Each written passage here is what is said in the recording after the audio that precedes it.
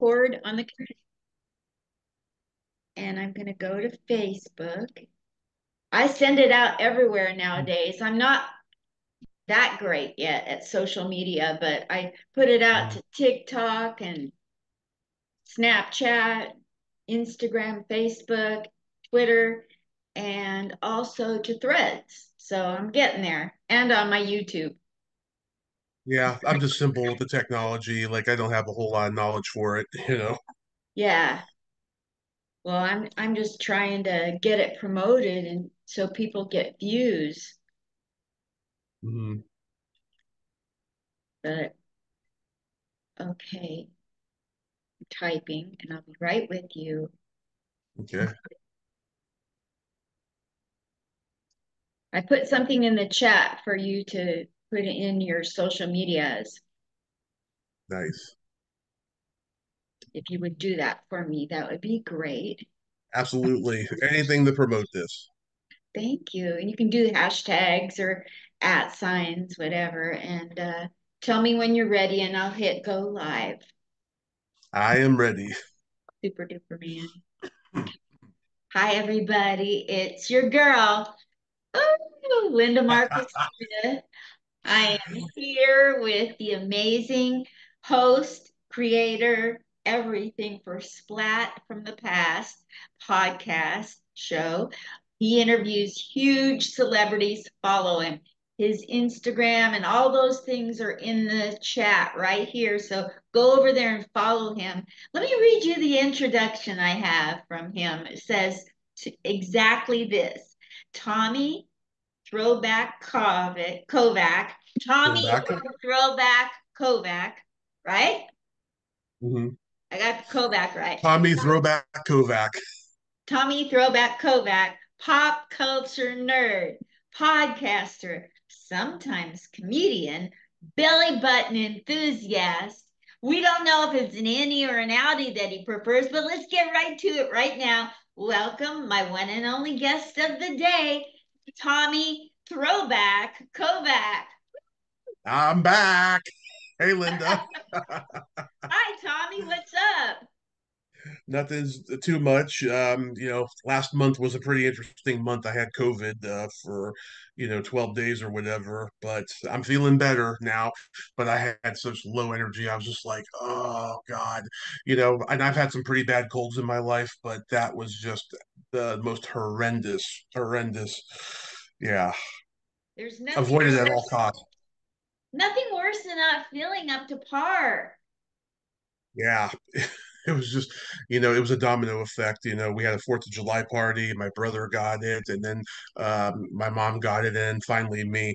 I don't know how my nephew didn't get it, but um, yeah, it was a domino effect, sadly. Oh, I'm so sorry. Yeah, I'm glad you're back. Back stronger than ever. Yep, stronger than ever. The All right. bull. Well, I've had you on before, but this one is going to be special because I'm going to shut my pie hole and I'm going to listen to you most of the time.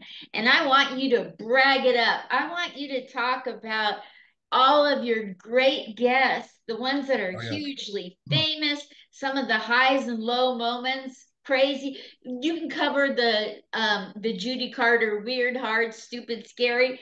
Go for it, Tommy. Fill us in. You're gonna get very little interruption from me. Yeah, I've always wanted to, I've always wanted to interview Judy Carter, but I've never been able to make the connection. I admire her greatly. No, but uh, yeah, last week uh, when we were going to do this originally, I told you I wanted to talk about the death of uh, Mitzi McCall because I interviewed her and her husband Charlie a couple years ago. Yeah, that was interesting. So, like, um, at the end of 2021, uh, Mark Maron interviewed the Smothers Brothers, and I was so jealous. I was like, oh my God, I would love to interview an old comedy team that was around oh my God, in the late 50s, early 60s, and just find out all these great stories. I had interviewed John Biner before, and he had a book out, and he didn't want to rehash stuff, but like, I just wanted a, a comedy team. and then around that time, it gets advertised that uh, Mitzi and Charlie are booked for the Hollywood show, which is an autograph show in Burbank, where they have, oh my God, hundreds of, of celebrities they're signing every three months over there. And I was like, I thought they're, I thought they were passed. I didn't know they were still alive. I was like, that is awesome. And then it turns out Charlie's on Facebook. So I sent him a DM. Um, I guess it went to a spam folder. I never heard back and he he announced that Mitzi had COVID and um, they were most likely going to cancel their appearance there or something like that.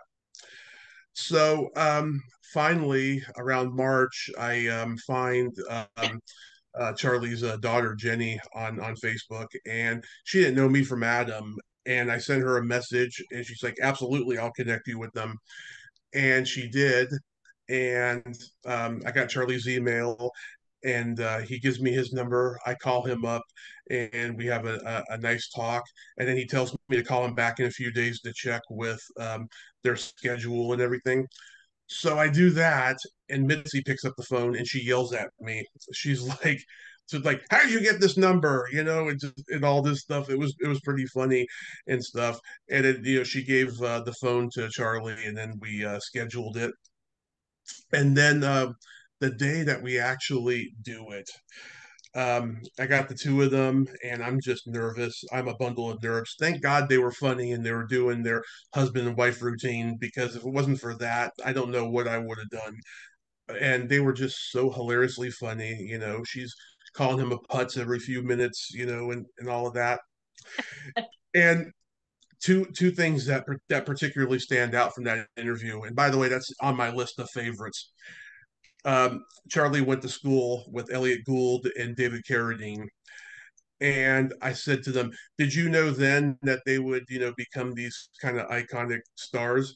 And Charlie said, "No, I, I was going to be the star. They were, uh, they were a couple of schmucks or something." and Elliott Gould's his best friend too. That's his best friend. They're like in the same uh, graduating class, wow. and Carradine was like a year older or something. Yeah, and then Mitzi tells um, the story about uh, backstage at the Ed Sullivan show before um, the Beatles went on. They were at the Coca Cola machine, and John Lennon obviously saw them at the Coca Cola machine. And a few moments later, he's knocking on their dressing room door, and he says, "Excuse me, I need a Coke for Ringo." now they didn't know who Ringo was yet. They didn't know the names of any of these guys yet. You know, all they knew was that all the kids were going crazy for these guys from England. That's all they knew, right? So Mitzi said, "A Coke for Ringo? What's that? A Jewish holiday we don't know about?" love that story. I love that story. And then for the ninth day of Hanukkah. exactly, you know, um, or Purim or whatever that holiday is called. Um, uh, Yom Kippurim, yeah, Yom Kippurim, that's what it was. So then, um, after, after the interview's over, Mitzi calls me back and she tells me that that I, am good at what I do and that they had a blast and that if I'm ever in LA that you know I should come over and she'll make me Jewish food and all of that stuff. You know, it, it never happened unfortunately, but I went back and listened to the interview that night and I just got this tear and this chill simultaneously when when Mitzi said to me, "Bye, Tommy," and then hung up. That was just so emotional for me. Wow. How long before, when was the interview and when did she pass? It was March of 2022, and she passed last week. Um, I believe it was last Thursday or Friday of last week, something like that. Yeah. What a bummer. What a bummer. Well, that's great that you got to interview them and that she called you back, though. What a special, special memory couple people have, have done that. Marion Ross from Happy Days did that to me. Um, I only had 30 minutes with her. We we had a, a, great talk and we covered a lot of the stuff I wanted to. And what she, she talk about? Oh, we talked about Happy Days. We talked about she was a contract player at Paramount, like in the 1950s. Um, uh, stuff like that. You know, she she has done so much episodic television outside of Happy Days. Like, it, like you know, I didn't want to dwell on it too much because it was just probably an in and out gig or something because she's done so much. But she has a lot of nice things to say about a lot of people that she's worked with. So, Great. you know, we we did that, you know, and then she called me back two hours later and told me I was a gentleman and that she had a blast, and that was the special, really Oh, special. wow. Tell me some other people that have recognized your talent and appreciated you.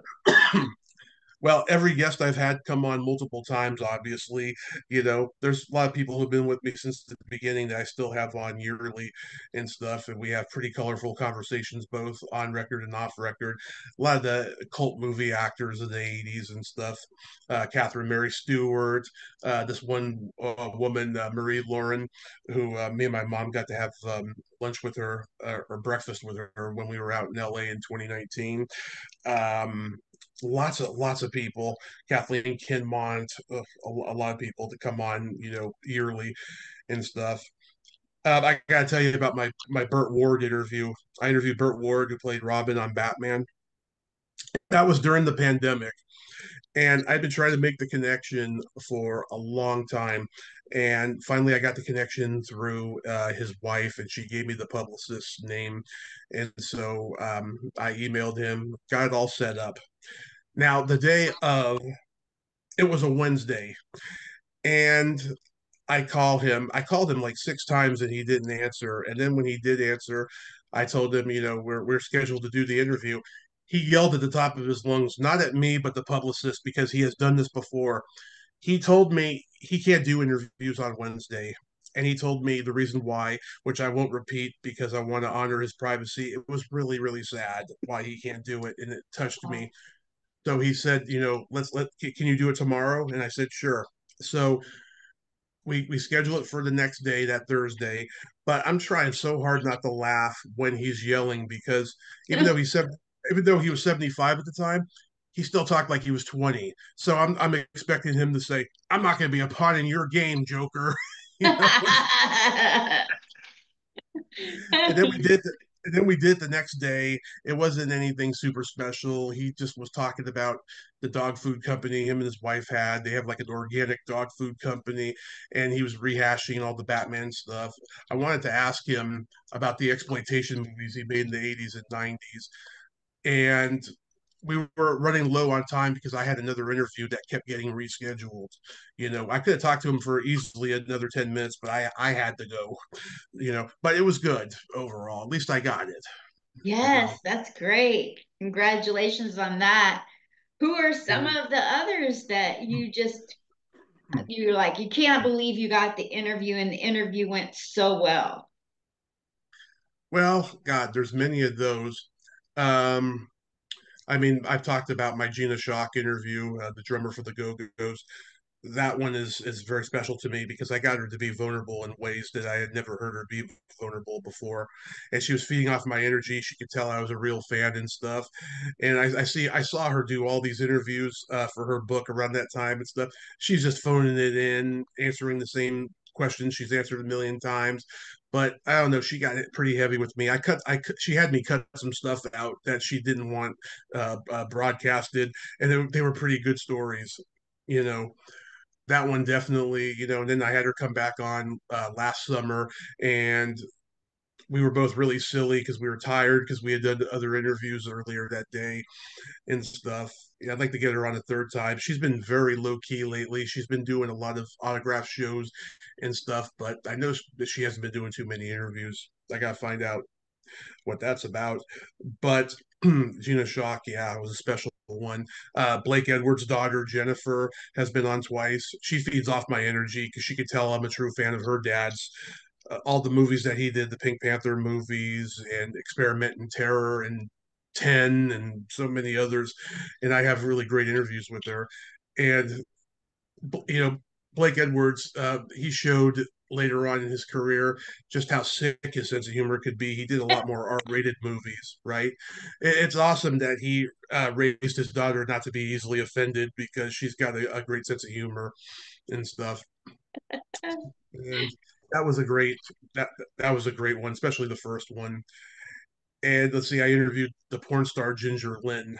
That was interesting because for tw- 25 minutes, we're talking about how, you know, back in the day, they didn't use condoms on porn sets like they do nowadays. Not all of them do, but a lot of them do now. And we're just talking very philosophical about it. Then I bring up the B movies that she that she starred in. Um, she made the Vice the Vice Academy movies, and the director I won't say his name. He's been on my show. He's a, he's a strange guy, and I, I could tell she didn't want to talk about him because it's well known that she had a falling out with him. So she tried to end the interview by mentioning her art, and then I interjected and I said, how did you get cast in Young Guns 2? Because that was the only mainstream movie on her on her IMDb because it's all exploitation films. And she says to me, How many followers do you have? And I made up a, a number. And she said to me, She blew the producer, and that's how she got the role. And I'm thinking in my mind that maybe because she dated Charlie Sheen, maybe there was a connection there, but no, she gave head to the producer, and that's how she got cast. Now, I thought during this interview that it was a fun it was a fun blowjob, but apparently it was a Me Too story because I heard her tell it on another show recently, and she made it sound more Me Too like. I was like, wow, this is this is interesting.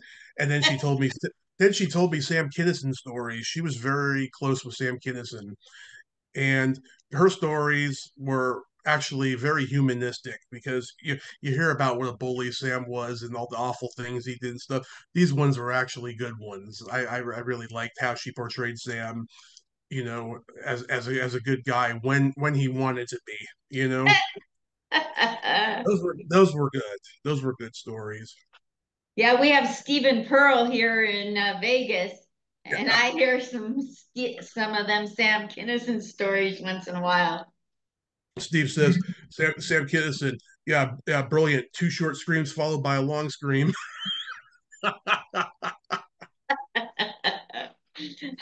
Stephen Pearl. yeah, I'm trying to think who else. Yeah, I just I've been so lucky, and I've done interviews where I was looking forward to it, and I don't I don't know. I just didn't have the right energy, or they didn't have the right energy, and I feel like I'm rehashing stuff that they've talked about too often. I didn't give anything new to it. I've had a lot of those kind of interviews too, you know, with certain people. I just interviewed Bruce Davison the other day, who's one of my favorite character actors of all time. The nicest guy. I met him in person years ago at a convention, and it was good, but I just didn't feel like um, I, I, really added anything new uh, that he hasn't talked about before. But he was very he was very kind and decent. You know, we had some laughs there and stuff. Uh, he, he did that. He did the uh, the Chevy Chase and Dan Aykroyd movie "Spies Like Us." I, I was I was hoping he was going to give examples to to their personality of Dan Aykroyd being the nice guy and Chevy being the cocky jerk, you know. But he didn't give any examples. But he did describe Chevy Chase as like a, a Labrador dog. did Tommy Chong give you an interview? Yes, that was a that was a, a, fabulous one because for one week I was considered cool in my hometown you know. And he, I, I, asked maybe four questions because he gave me these long stories and answers that I didn't expect.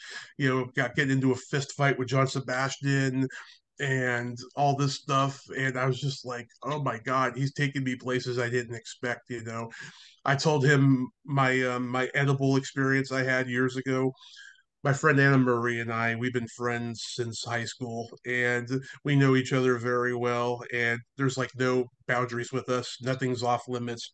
And one time we were going to go have dinner at this Chinese restaurant with her best friend Adrian, who also went to high school with us, and this guy who was possibly a romantic suitor for Adrian. I liked him. He made me laugh, but apparently he was a real asshole. So she kicked him to the curb later. But we're going to go um, have Chinese dinner with them, right? And she gives me an edible cookie and she says, Eat that. I'm like, Why? And she's like, Just do it. so I eat it. It tasted really nasty, but pretty soon the buzz kicked in real fast and she starts laughing at me. She's like, "I got you. I got you high before this." And next thing you know, I'm trying to motorboat her while she's driving, and and she and she's just like nudging me back and everything. I was like, "Hey, you did this. You put me on any stimulants, I'm gonna start doing shit like that." By the way, I don't advise anybody to get me on stimulants at all. I, am warning you. So then, you know, uh, we, we, we park in an alleyway. She's wearing her work clothes. She takes her work clothes off and puts on her um, her, her her dinner clothes and stuff. And you know, I'm just super high, and I'm like, you know, hey, let's have a quickie. And she's like, no, we're not gonna have a quickie here in this alleyway. and then we then we go to have that dinner, you know, and the guy's making jokes. He's like saying to the waiter, "Hey, you got milk here?" stuff like that. and that was my edible experience. oh my goodness. So, who would you consider to be the hardest interview that you had to get that was the most rewarding? Or have you already covered that? There's a uh, there's probably a lot of them. I mean, today, for instance, I did an interview with uh, Julie Piekarski, who played Sue Ann on The Facts of Life in the first season.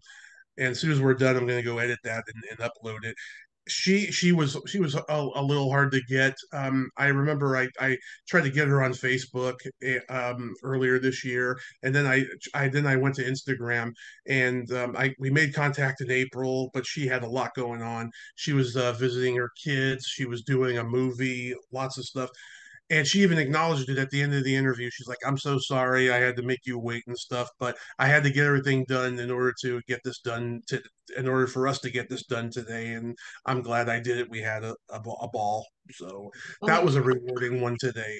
Yeah, that's fabulous. Congratulations on that. Yeah. Who, who made your life a miserable holy hell trying to get them on? I've got a story, but I can't say their name. Oh, there's a lot of those and stuff. Um, who made my life miserable to, to get on? There's, God, there's some people. It took uh, quite a few years. It's been happening lately. People I, I reached out to six, seven years ago when I started that are finally doing it now, and it, it's great. And, and, and uh, God, I'm trying to think. I wish I was prepared for that one because there's That's a lot right. Of them. I just yeah. want to hear. I want to hear all all your stories, any which way that you want to slice it. I'll tell you about the worst interview I ever did. Nick Nicholas Meyer, who directed Star Trek two and six, he was, and I'm I'm so glad I found out I'm not alone in this. He's just arrogant, volatile, bitter. He cares more about his Sherlock Holmes books than he does uh, the Star Trek fans and fans of his movies and stuff you know, the interview started off good. He called me Tom, and we were off to the races. And then, as the half hour wore on, he just got defensive and arrogant and volatile. And he he he, he said, "Are we going to talk about my book now?" You know, and and I learned a valuable lesson: talk about the book first or the new project first when they really want to push it. I've I've done that ever since and we did, you know, and yeah, that was not one of my favorites, you know, and I've heard him do it to other people. I've heard he's been hiding it lately, though. Like whenever he does an interview, he's when they're on Zoom, he starts off by saying, you know, I'm only doing this because I'm doing you a favor. He he gets the volatility out of the way, and then he he acts all professional and nice now. But for a while there, he was going full throttle with the arrogance. yeah. Oh my gosh! Wow. Yeah, I didn't like that one. Have you ever interviewed somebody when they're like severely depressed and like they uh, openly admit it? And how'd that go? Uh, not someone who's openly admitted it, but I've heard it, um, especially during the pandemic. There was this one guy, he was a founding member of the Groundlings. Um, I was expecting this to be an hour interview. I was expecting him to be as funny as he was on Gilbert Gottfried's podcast.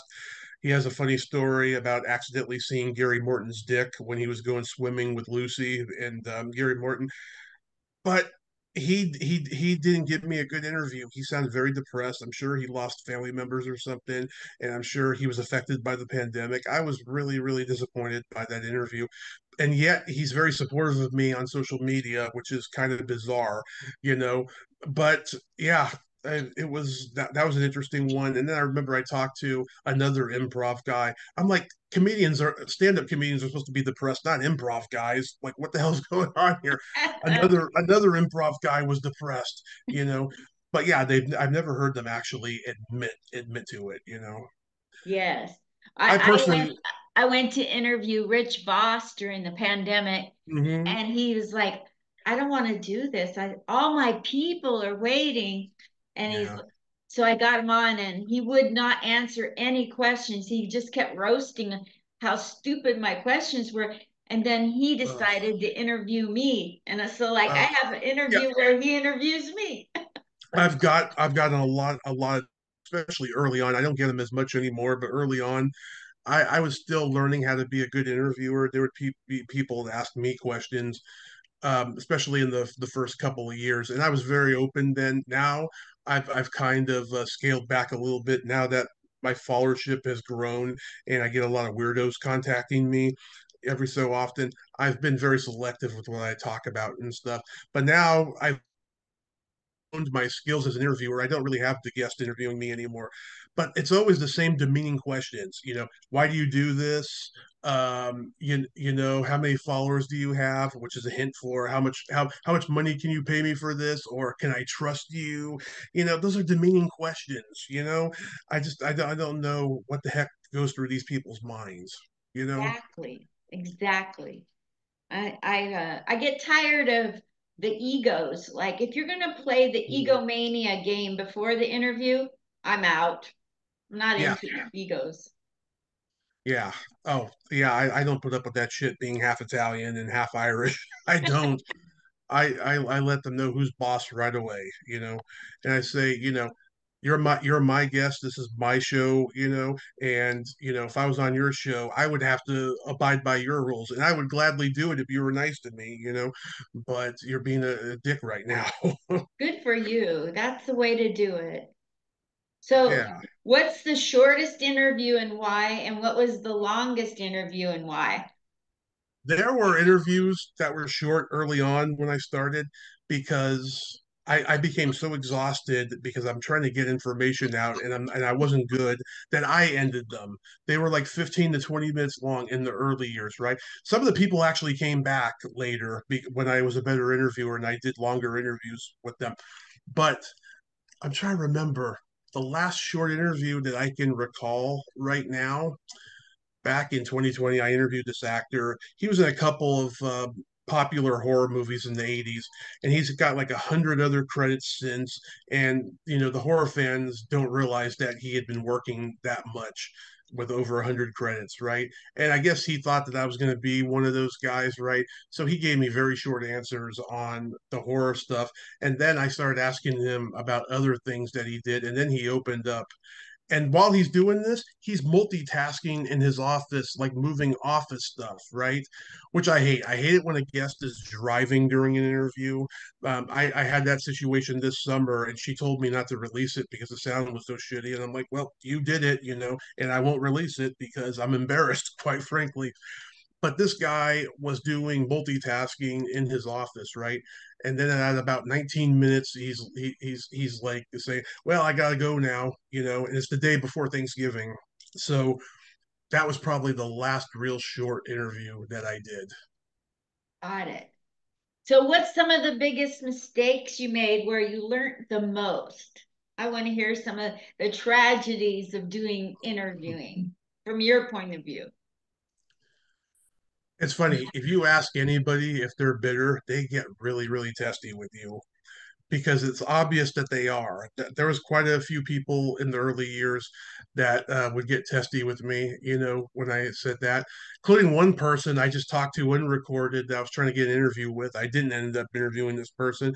I was like, I was like, don't be bitter, and she's like, I'm not bitter. It's just I work for Disney now. I can't talk about those those naked comedies I did back in the '80s and stuff. And it's just like, oh God, oh brother you know, asking you know people if they're bitter and stuff like that. You know, um, you know, I tell dirty jokes at the end of uh, my interviews with the ladies. You know, and there were there were a couple ladies that were offended, and I edited them out later and stuff.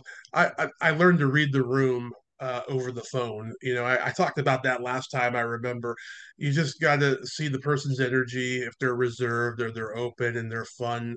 And you know the kind of projects that they did you know were they an r-rated project? Did you work with this comedian? When when you when you do interviews like that and you're reading the room that way that those are the those are the best cues to tell dirty jokes to to uh, the the female guests. Absolutely what's your favorite joke to tell to a lady oh god there's so many there's um let's see, you know, you know the difference between a golf ball and a G spot. It takes a man 20 minutes to find a golf ball. There's that joke, you know, there's, you know, um, there's uh, this one joke. There's a female comedian that I'm friends with. You should get her on your show. She is hilarious. Her name's Meredith Godfrey. She told me this joke, and I'm very selective with who I tell this joke to because this could offend a lot of people. I, you know, how do you make your wife scream twice? You fuck her in the ass and then you wipe your dick on the curtain. She told me that joke. Yeah, and I've and I've told it to a few. I'm, again, I'm very selective with that. oh my goodness! Did you ever read the room wrong um, later on in your career of podcasting? That you thought because of their background that they would be cool, but when you told it, they got offended anyway? Yeah, there's a, a, a woman. She's starting to get a bad reputation um, amongst the horror community. She was in a horror movie. Her father was a comedy writer back in like the 50s and 60s in Hollywood. You would you would think that she would have a great sense of humor. She acts like she's high all the time, and I think she is. And she doesn't really laugh much, you know, but she's very engaging and I remember, but I did two interviews with her. I've, i should have only did done one, quite frankly. On the second one, I told her some jokes. I can't remember which ones, and she pulled a covert narcissist trick by uh, telling uh, a mutual friend that um, that I offended her and stuff. It's like your dad was a comedy writer. Did you hate your dad? I mean, she doesn't really talk about him that much, so maybe she did. Who knows? And she just doesn't like comedy. Who knows? You know, that disappointed me. Wow. Man, if you're offended, tell the person for crying out loud. Oh yeah, there's there's been people who have, but like, yeah, like I said, covert narcissist trick. You know, that's what they do. They they act like that they're not offended, but yet they are. You know, and they'll they'll try to screw you over big time behind your back. Yeah. Wait, so you like people that you've had on when you were first doing interviews and you weren't that great at it because you were new when mm-hmm. you go back to them, do you tell them, look, I've gotten so much better. You got to come back on and see this? If I if I got an energy sense that uh, um, that they didn't want to come back because they haven't replied my message, that's when I do that. But other than that, no. I mean, I mean, thank God I have a, a, good personality because they did want to come back, you know. And plus, they do so many interviews, you know, they probably f- forgot which one was the bad one sometimes with who did it. So yeah, I'm just lucky that way. Those are great tips for me. Oh my gosh. My first interview that I regret was Kathy Ladman. I love I, Kathy. I first, I've had her on. When I first started, I was using my phone to take a picture of my computer screen. So it was a picture mm-hmm. of a picture. It was like LinkedIn twice removed. It was horrible audio, horrible video. She gave me five minutes and I have been eating dirt about that. I just want to go back to her and say, Oh my God, that was so horrible. I'm sorry. Would you come back? I'm not bragging. I did a full hour with her. yeah, there you go. Absolutely. When, when, she did her interview on Marc Maron last year, I was so proud of her. Like I was posting it, you know, and her, her said, just five years ago, you were on the full mark. You know, I was just so happy about that. Yes, absolutely. You know, I think I could handle I hope she her. forgives you. What's that? I hope she forgives. I hope she forgives you and gives you an encore because you deserve it. How sweet are you? I would love an encore with her. I would love that. I think I would know how to handle myself this time. Yeah. And my social media. But yeah, so what what is the biggest thing that you have learned that you want to drop knowledge for young podcasters out there? People with shows, podcasts, do's and don'ts. What rises to the surface in Tommy Throwback Kovac's, Kovac's mind? Do's.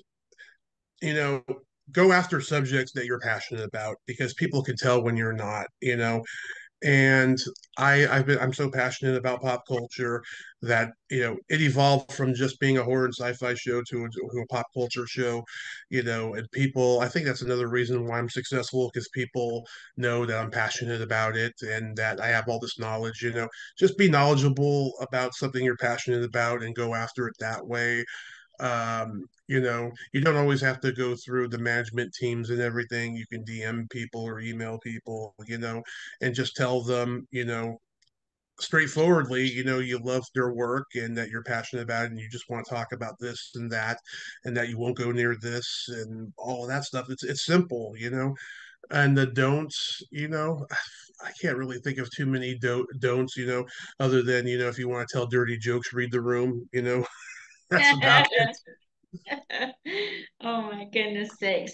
So, what else would you like to talk about? Any other favorite interviews, people that you've gotten to know off camera because of being on camera? Anything? I mean, yeah, I mean, there's people that I've interviewed and I've I've hung out with them when I was in LA uh, before the pandemic and stuff. Terry Bolo, she is a uh, founding member of the Groundlings, and she was in the she had all these small parts in movies like Pee Wee's Big Adventure and Carrie and Big Wednesday. And she's a, a, a little tiny woman.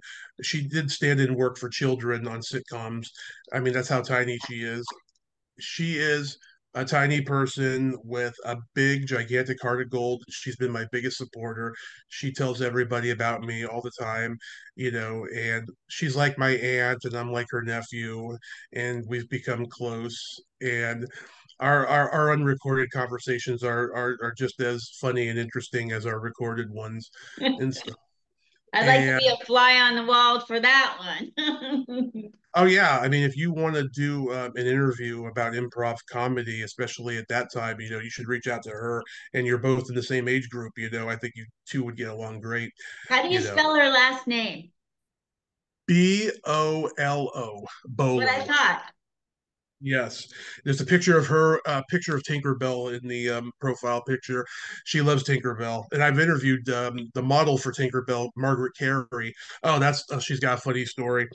She did this bad noir movie called Canon City in 1948 with um, Scott Brady, who did that Western show uh, Shotgun Slade, and he was the sheriff in Gremlins. Uh, Dr. McCoy on Star Trek, DeForest Kelley, and Jeff Corey, the uh, acting teacher. There are three guys who escape from jail. They hide out. They terrorize this old couple, um, uh, stealing their house pretty much. And Margaret Kerry is the love interest. She was like 18, 19 years old when she did this. And I think a moose's head on the wall fell on top of her, right?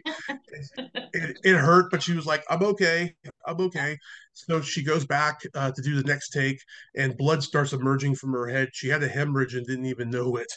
Oh my gosh yeah it was like coming like like like uh, like uh, behind the ears and stuff it was embarrassing she said she was 18 or 19 years old oh my yeah. goodness sakes one time i was doing an interview in portland oregon mm-hmm. and the, my co my co interviewee she would come drunk and high and she would mm-hmm. me too the men and the club wanted us to do interviews, but she was messing them all up, and I it was so much pressure. It's like I would be doing serious interview questions, and she was just.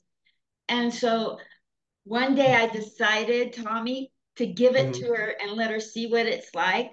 So I I wasn't drunk, I wasn't high, I was doing it sober. I was just uh, uh, we had on uh, this one guy, and I was just me too, and him left and right. He was like three times younger than me. You know, he's like barely 20. And I was just me too and him. And she was just like, What are you doing? Uh, yeah. Stealing from me. and then yeah. while I was doing that, I felt this thing on my arm. I felt a ping yeah. I looked down, I had a golf ball sized blood clot that a vein ruptured from all the pressure. I was like, I wow. am so done with her. wow. Yeah, I would be too. I was like, when you feel a ping on your arm, folks, take a look. You might need to uh, have attention to it real quick. It sounds like you um, two could have been a comedy team.